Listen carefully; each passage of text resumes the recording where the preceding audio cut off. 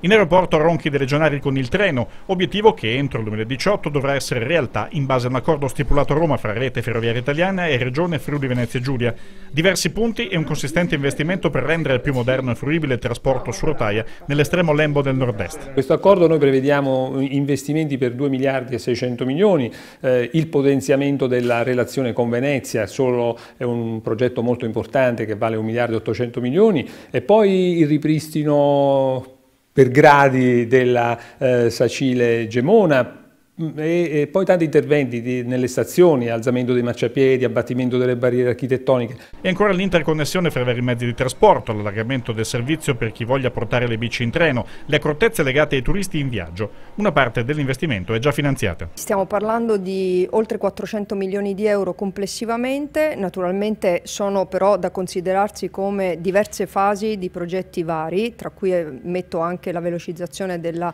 eh, Venezia-Trieste, il superamento dei passaggi passaggi a livello, insomma abbiamo eh, un punto che possiamo dire di partenza molto importante non solo nei rapporti con Rete Ferroviaria Italiana ma proprio per il miglioramento delle infrastrutture del nord-est e in particolare del Friuli Venezia Giulia. L'accordo mette in chiaro gli ambiti futuri di intervento e i tempi auspicati per la realizzazione di opere e servizi, attendendo sempre che si sblocchi a livello più generale la situazione che non ha finora consentito di velocizzare in maniera strutturale una linea trafficata come la Trieste-Mestre-Venezia.